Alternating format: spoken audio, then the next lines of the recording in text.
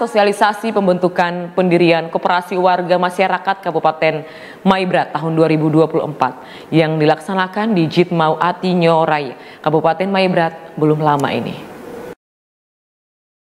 Acara tersebut dihadiri oleh penjabat Bupati Kabupaten Maibrat beserta rombongan yang diwakili Kepala Dinas Koperasi Yakobus Asmuruf SH serta pegawai Dinas Koperasi dan UMKM Maibrat.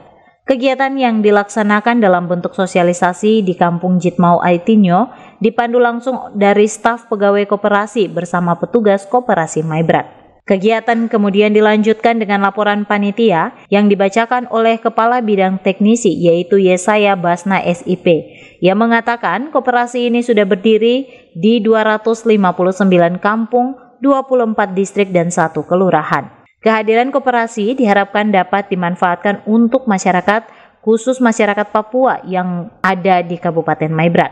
Disampaikan kepada seluruh peserta pelaku pendiri koperasi KUD di Kabupaten Maibrat bahwa kegiatan ini untuk memperdayakan orang asli Papua melalui dana otsus yang ada di 259 kampung, 24 distrik dan satu kelurahan yang ada di Maibrat. Diharapkan kepada semua peserta harus mengikuti kegiatan sampai selesai dan kembali ke kampungnya masing-masing dan membuka usaha koperasi di kampung atau di distrik. Dermawan, CWM Channel